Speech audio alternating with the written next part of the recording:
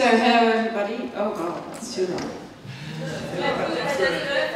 Is it? Yes. Oh. Very confronting. Um, so very happy to be here. Um, I work for an organization which is called Sense About Science and we stand up for evidence in the public. Uh, we defend the use of science, scientific facts in public debates, we don't shy away from the difficult issues, so we tackle topics like homeopathy and vaccination GMOs.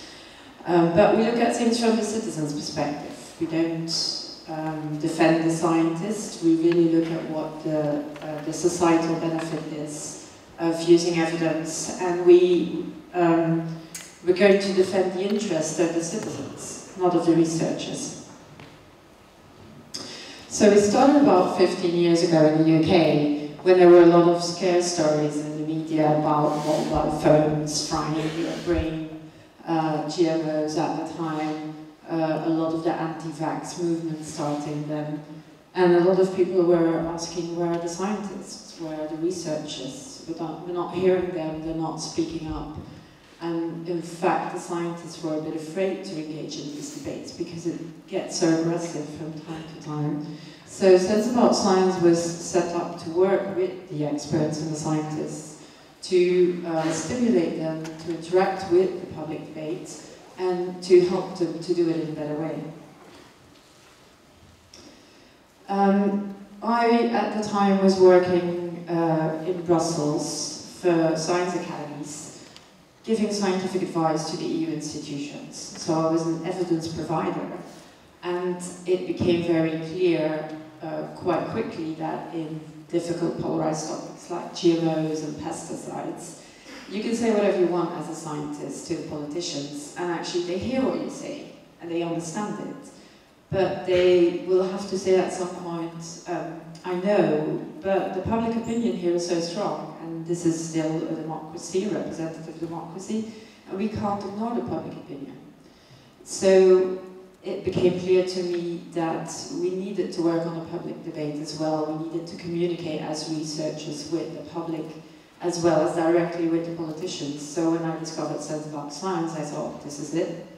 Um, and they luckily also thought that there was more need for this type of interaction um, in Brussels, but also in the wider EU. And so we found each other, that was great, and we set up Sense About Science EU a bit over a year ago now.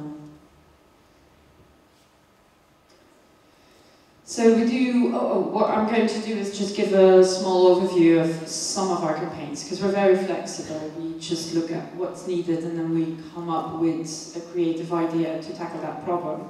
Um, I'm going to give a couple of examples which I think are most relevant for you, and at the end of my presentation, I'm going to summarize some of my own personal learnings about debating um, with people who have different opinions, um, who have non-evidence-based opinions, and how you can improve these debates. So here's the first example of what we do, where we see there's a clear gap in the debate. Um, we might work on a specific topic, and we have these making sense of guides. We make them um, with experts, Uh, but we include citizens and we include the public to make sure that what is in these guides is actually relevant for the public. It's the kind of questions that they ask them. And we will not only say what the evidence is saying, we will also give some guidance to the people on how to know when they see new claims, whether this makes sense or whether it's pure nonsense. So we don't limit to the facts. We also give some tools and some guidance for making your own evaluation, even as a non-expert. This is our biggest public campaign, and we it's a campaign to challenge public claims. And we started that campaign when we, we kept receiving questions from people who say, I don't know what to believe sometimes. How do I know whether a claim is true? How do I know who to trust? And it usually comes down to asking for evidence. And we thought, actually, we don't have to do that. Anyone can ask for evidence. So we started a public campaign. We help people to ask for evidence and then to understand it as well.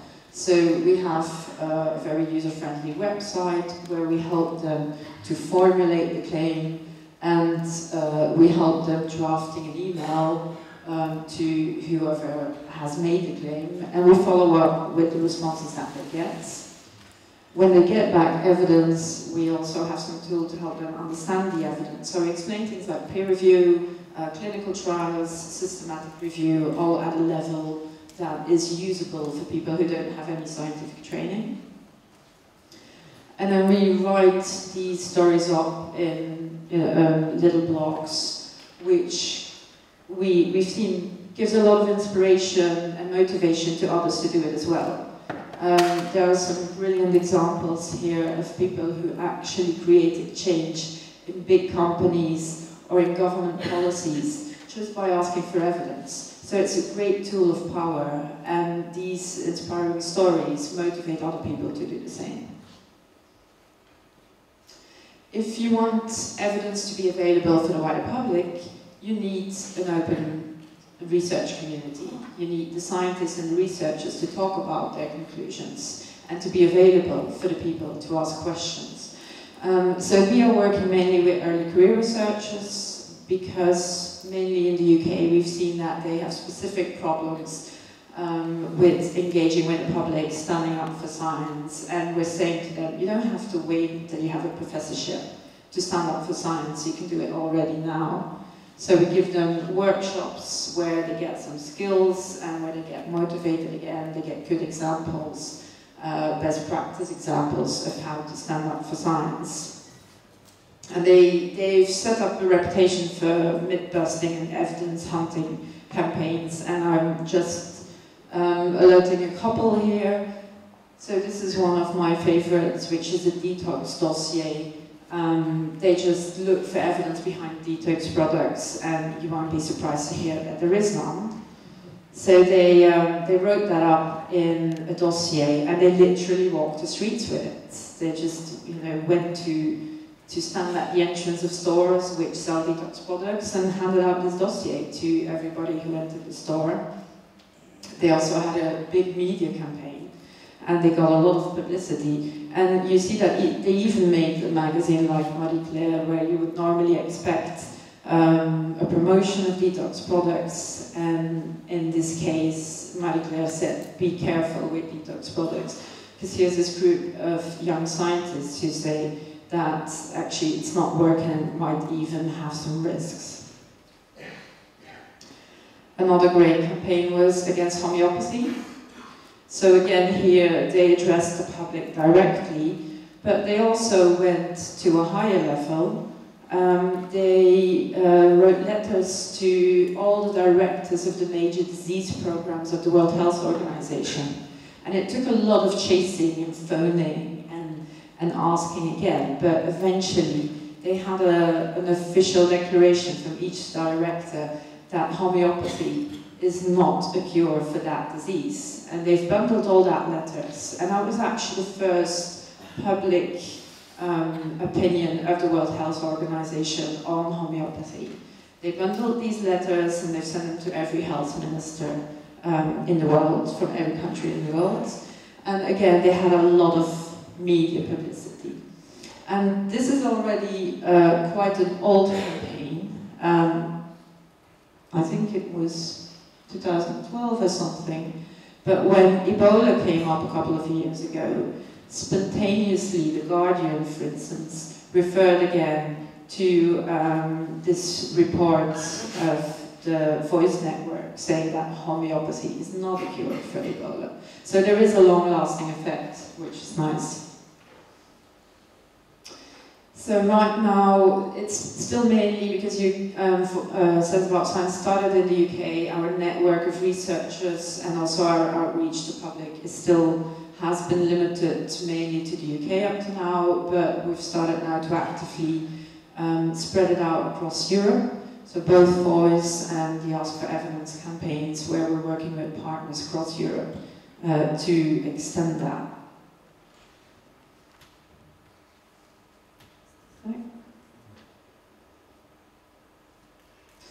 So these are some of the campaigns we've been doing for years, and we thought we were doing a very good job. And then um, in 2016, we were confronted with this.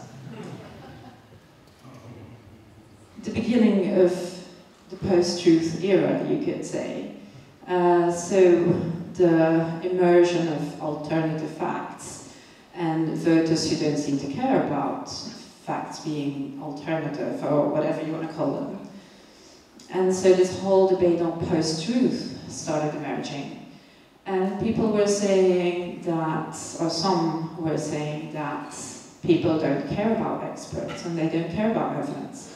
And we thought that's actually quite dangerous because if the politicians start believing that, um, they will start stop using evidence and they don't won't feel pressure anymore to use evidence and they will only care about sound bites and emotions and that's actually what we're trying to fight here.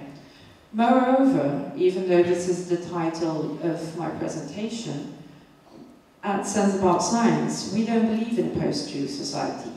We just see too many people who care about evidence, and not just the researchers and the scientists, but also people from all walks of life. And they were concerned also about these debates and about how politicians would respond to it. So we said, you know what, you have to tell the politicians yourself that you care about evidence. And so we brought a bunch of them to the European Parliament to talk to their members of the European Parliament, their representatives there.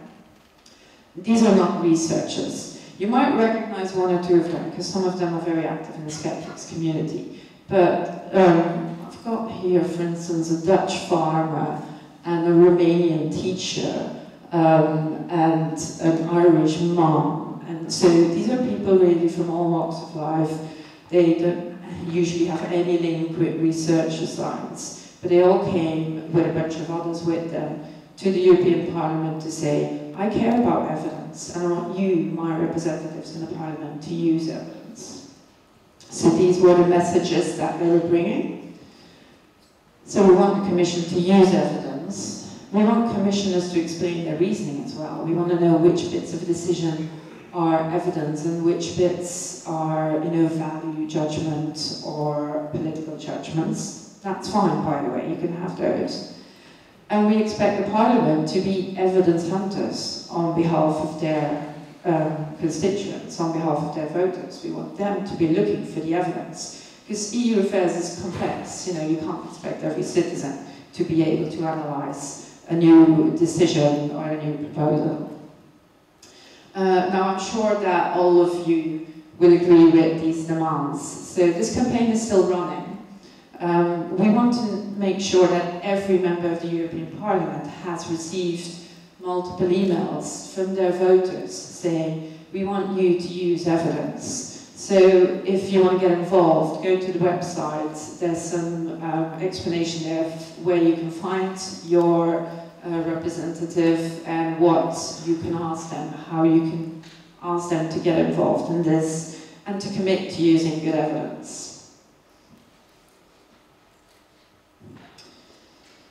So that's what we're doing with politicians, but there is something to do with the um, larger public as well. And I really like what Diego said about uh, memeing places, because that's a bit the problem here.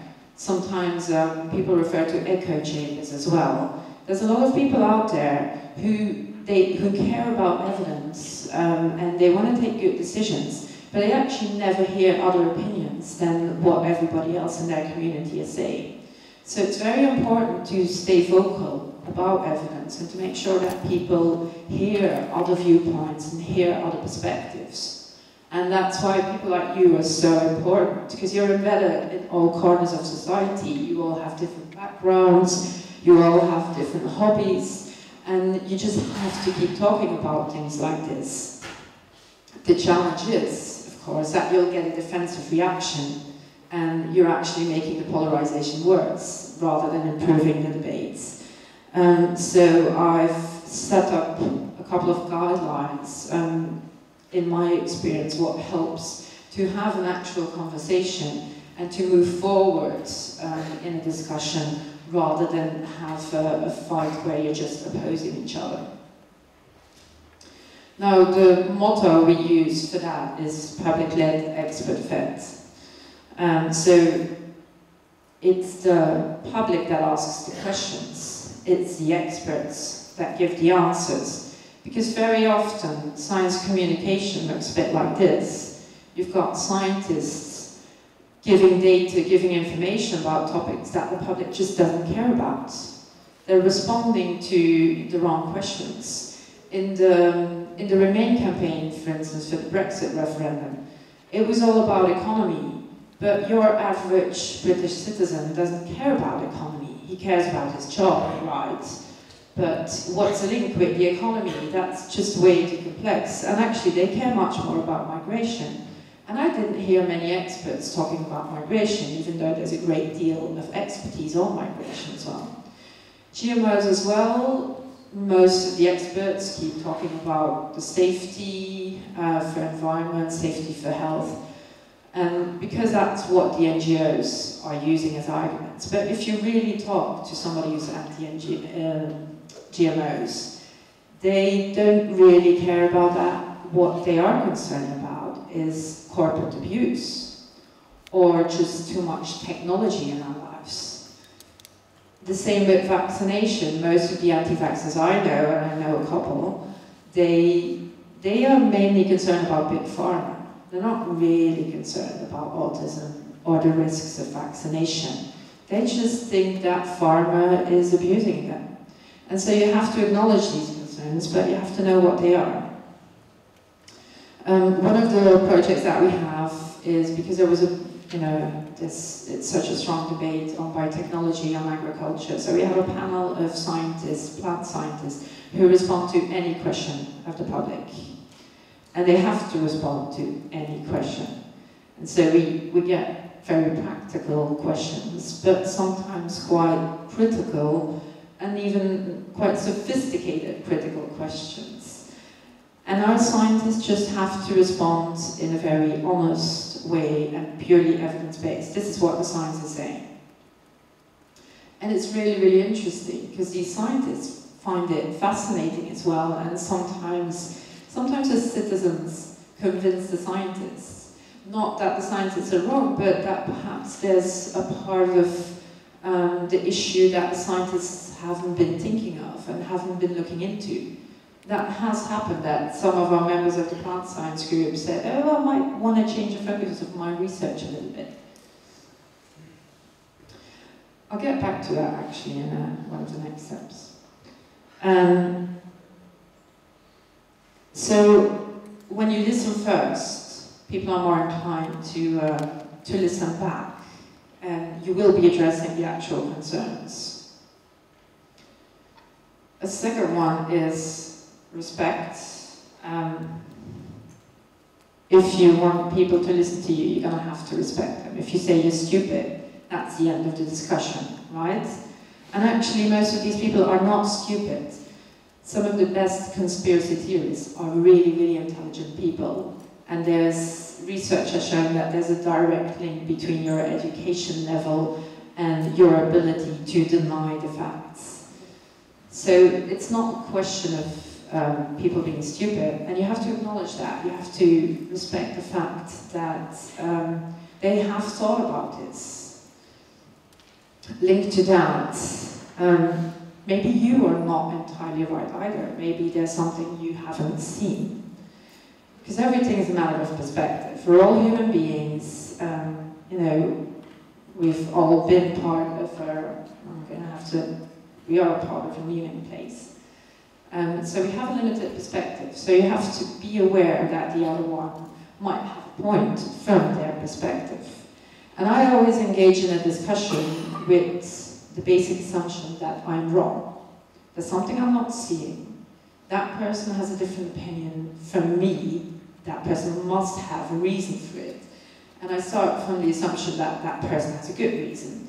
And I need to find out what it is. Perhaps I'm wrong, and perhaps I'll learn something very often I conclude that they cannot convince me, which, which is fine, but because of my attitude, they are more open for my arguments as well.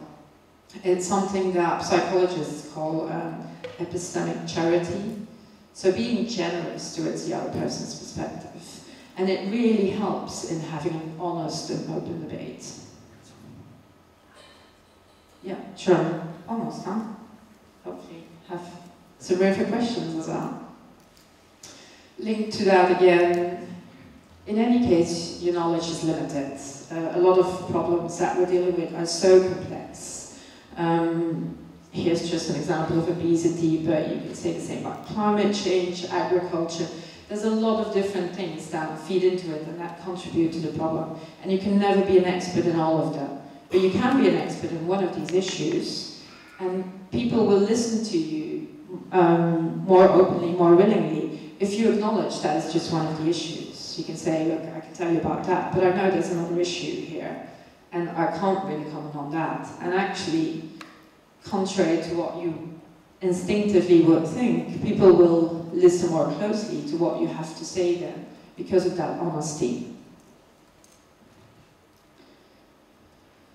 And that is a very good moment to start talking about trade-offs as well, because the problems usually are not that simple. There usually is not one solution that benefits all. And you know, the problems that we're dealing with in agriculture, for instance, we have real dangers for our food production here. Um, but to fight the, these dangers, we will have environmental impact. So there's a very strong uh, trade-off between environment and uh, food security. Energy, same thing. Whatever decision you take, somebody will lose. It will either be more expensive, or you'll have more environmental impact, or you know some uh, uh, you will uh, be damaging the security of energy uh, production. So whatever decision you take, it will never be perfect. And you, you need a political debate as well as a good understanding of the impact of each decision. That's your evidence bit. But then you will need a political debate on which values matter most to you, which groups of people matter most to you, which interests are you going to defend most. So basically these are my five top tips to have debates like that. Um, I hope you found them useful. Um, if you want to get involved in what we do at Sense About Science, there are loads of ways to do that. So definitely, if you come across any claim uh, in policy or um, from companies who want to sell you their products and say they will be miraculous, ask for evidence. Um, you will see the impact that it has. Definitely write to your MEPs and um, if anybody here has a bit of talent for languages and is happy to do some translations for, from English to any uh, other language for us, I'm, we're currently translating some of our resources to other languages and it's mainly done by volunteers. So I'm still looking for Polish and Spanish and a couple of others. so come talk to me if you're happy to spend some time on that. Um, I think uh, I still have a couple of minutes left if anybody has questions. Or do we want to... We're a bit over time, so okay, sure. Uh, not, not you personally, but um, uh, we're um, behind schedule. So if you don't mind, we'll, we will wait with that uh, until we have the discussion panel. But um, uh, will you be here for the, for the rest of the weekend? Uh, so that people can catch, catch Yeah, yeah, I'm here today okay. and tomorrow morning, I think. Tomorrow morning, okay. So make sure that you find her and talk to her about Sense About Science does. It's brilliant what they're doing. So please give her a round of applause.